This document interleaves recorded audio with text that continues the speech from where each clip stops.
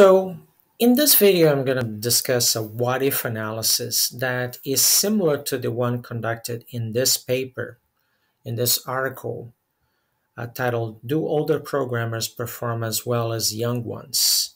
published in the uh, journal Cognition, Technology and Work in 2018. And the problem here was that we, we tried to answer this question, but we used students to test uh, a model that we developed. And the problem was that when we looked at the data,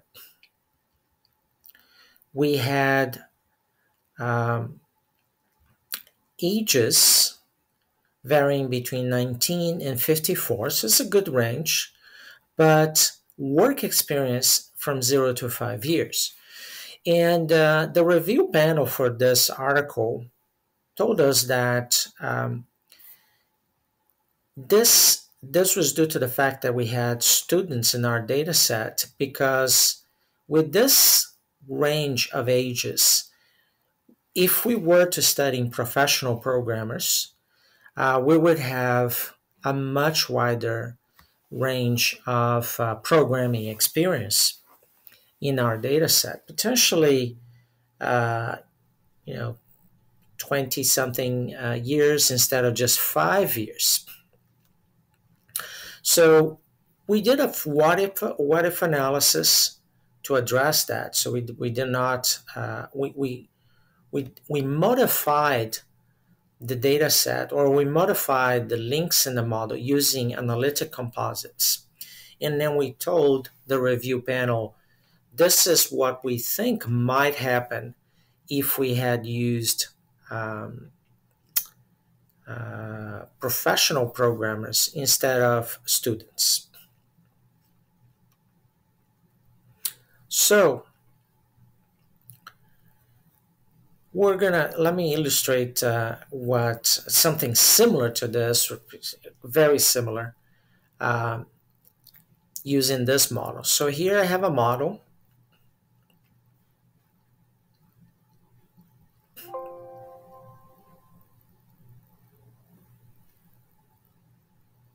Okay, so here I have a model where I have programming performance, performance and the programming task, being influenced by work experience and stress and age influencing these two variables. So these are two mediators that influence the relationship between or they mediate the relationship between age and performance.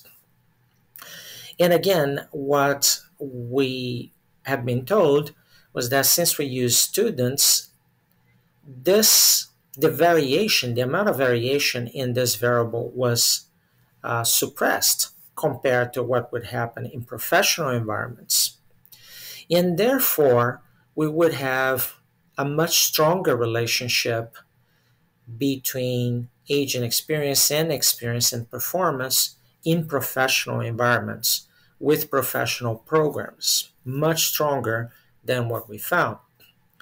We also found, based on the data, that age seems to be positively associated with stress, greater stress, maybe through higher cortisol levels uh, going up with age, and stress being negatively and strongly associated with performance.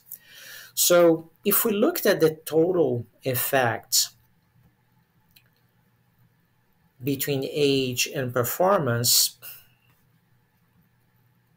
we, we found out that it was uh, negative. So the greater the age, the lower programming performance.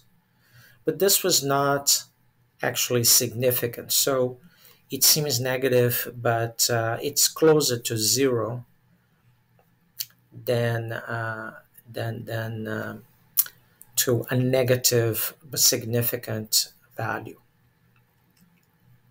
So how to address this problem? This is how we address in the paper. So first we uh, got uh, uh, effect sizes and uh, uh, likely correlations uh, from this paper here. It's available from other places. This is work done by Cohen, but this is one of the sources.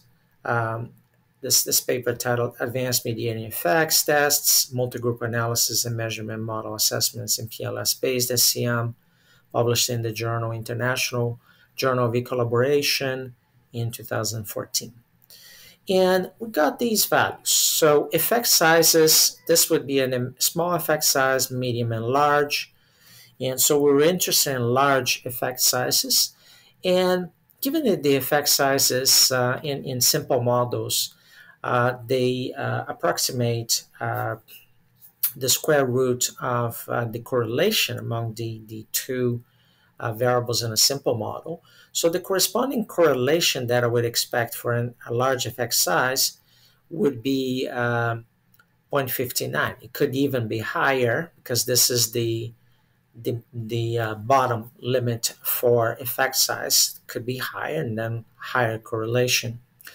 So what we did was we we tried to modify our model using analytic composites so that the correlations between this variable and this one, this variable and this one would be 0.59 or close to 0.59 by creating analytic composites that were consistent with the model. And the model assumes, or the model states, that uh, experience is caused by age and then experience causes performance. So let's see how we can do this. So the first step is, um, let me save this project in a different file so that I can preserve the original file. So, and let me actually save these results for comparison.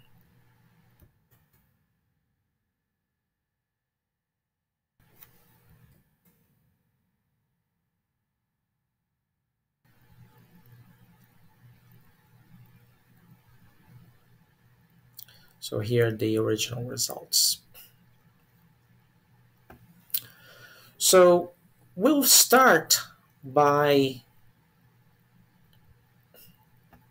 we'll start by uh, saving the latent scores associated with, the with these two latent variables um, as standardized indicators. So I'll start then with uh, age.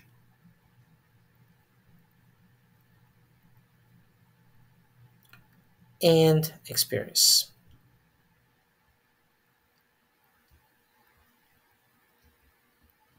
So now they've been added to my data set.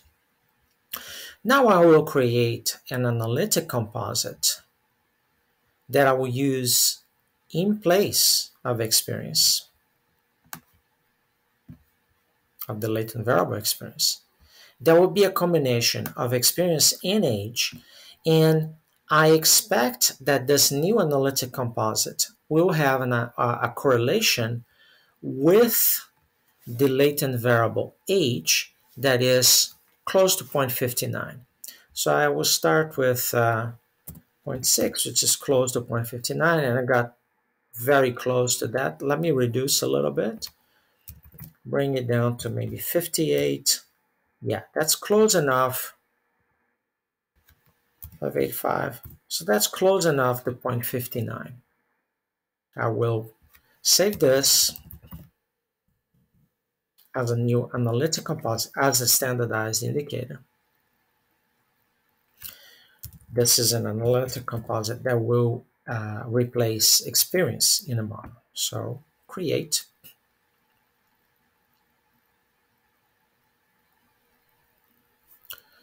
Now what I will do is add this to the model by replacing the current indicator, which was a measure of experience, with this new analytic composite. So notice that the analytic composite is not a totally new variable. It's the previous uh, variable experience But now, with its uh, correlation with age increased so that the effect size is large, uh, the effect size associated with this link, uh, to better reflect the, our what, what if scenario, which would be uh, of professional programmers. So now I redo my analysis. So now I have a stronger association between age and experience. Now what I will do is I will save uh, I will save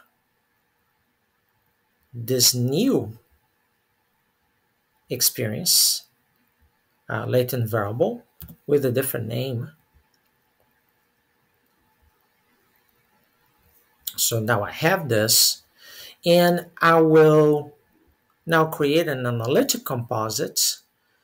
And I also need to add um, performance. And I'll also add performance as a new standardized indicator that I can use to create an analytic composite. So now I will go to Again, creating analytic composites and instrumental variables. And now I will create a replacement for performance that will be a combination of performance and this new latent variable that measures experience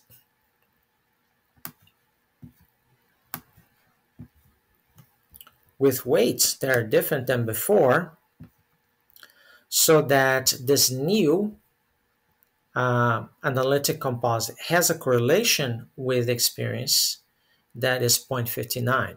So I will get close to that 0.6 and in fact in this case I need to increase its weight a little bit to get uh, to 59 so now it's close enough so uh, the correlation, this is the correlation uh, between uh, the, the uh, latent variable experience and performance in this new analytic composite that I'm creating using a combination of the current latent variable performance and the current latent variable that measures experience.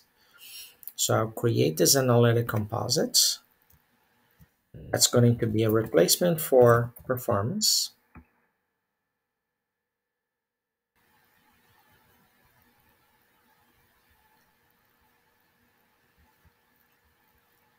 And now I'm going to go to my model,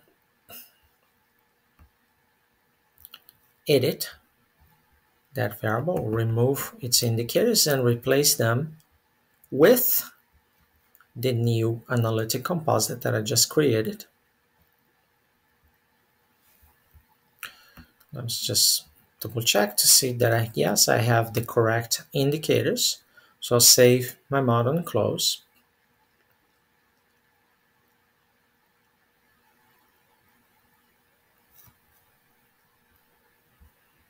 I'll redo my analysis. So now I have my results. And with these results, so I, as I can see now, uh, the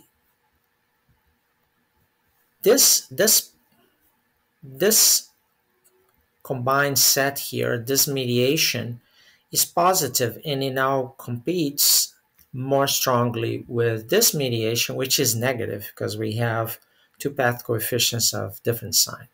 And as we can see, the values are, are much higher here because I created them to be higher, have a higher uh, R squared. So now if I look at the total effect between age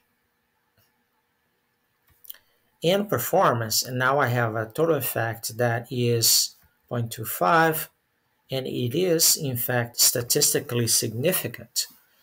So what these new results of this what if analysis tell us is that Presumably, if I had used professional programmers, uh, and the relationship between uh, uh, age and, and experience and experience and performance in professional programmers, uh, these, these relationships were Uh, uh, associated with uh, large effect sizes.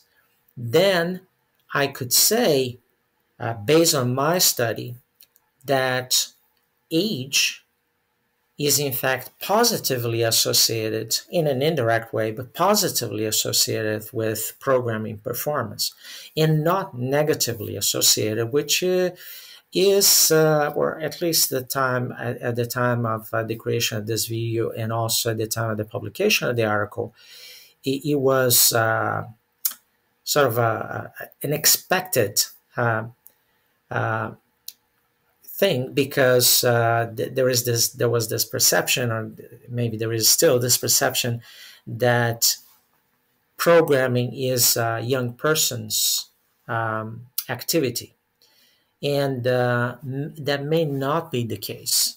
So this is uh, what this what if analysis suggests may be the case. Of course it's not based on actual data but it could suggest what uh, results based on actual data could be, and therefore calls for additional research. So this concludes uh, this demo on uh, what if analysis um, using analytic composites using WarpPLS.